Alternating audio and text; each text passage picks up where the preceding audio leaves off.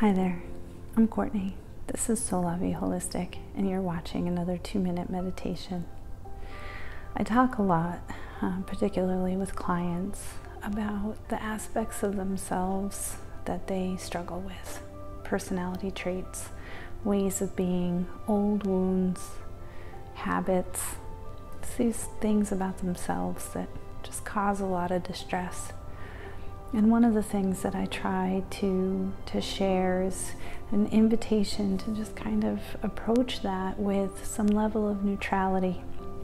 And an example from my own life that I frequently will use to try to make this uh, make sense is, you know, that I'm really sensitive.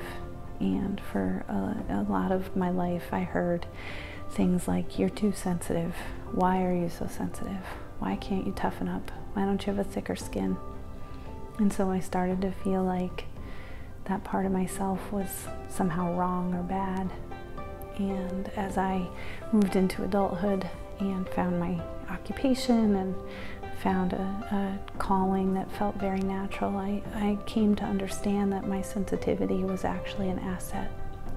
And part of being able to embrace that was by recognizing it as both good and bad. There are things that my sensitivity causes me pain and grief, and then there's things that it makes me really uh, good at. It makes me a, a, a, good clinician, it makes me a good friend.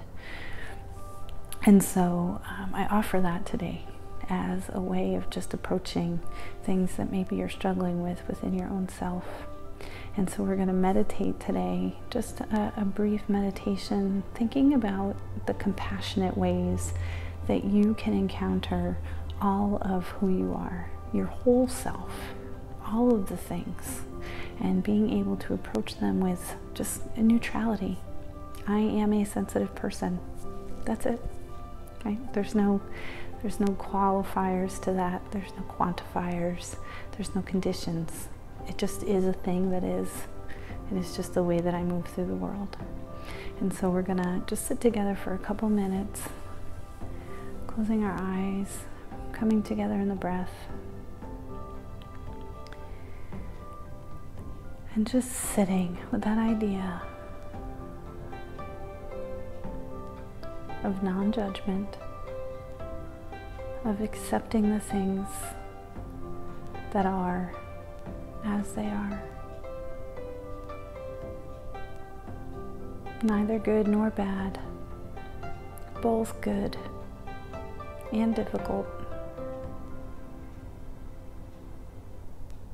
Assets and challenges, both and all and everything.